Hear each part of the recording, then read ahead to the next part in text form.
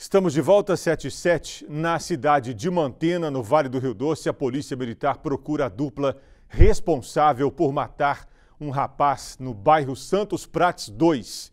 Os criminosos estavam em uma motocicleta e a gente conversa com o Sávio Scarabelli novamente sobre esse crime. Sávio.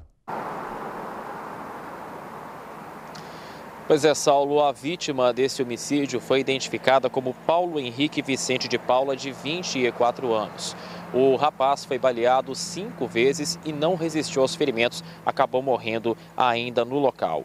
O crime ocorreu nesta quarta-feira no bairro Santos Prates 2, no, eh, na cidade de Mantena. Segundo a polícia, a vítima teria sido surpreendida por dois criminosos armados que se aproximaram em uma motocicleta o garupa do veículo foi quem teria sacado a arma de fogo e efetuado os disparos que atingiram e mataram a vítima.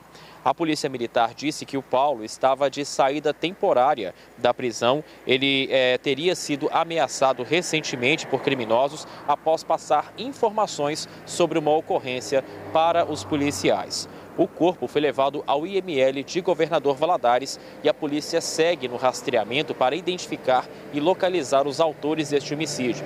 O caso está sendo investigado. Eu volto com você, Sal. Ok, Sávio, obrigado pela sua participação. Boa noite para você, um bom descanso.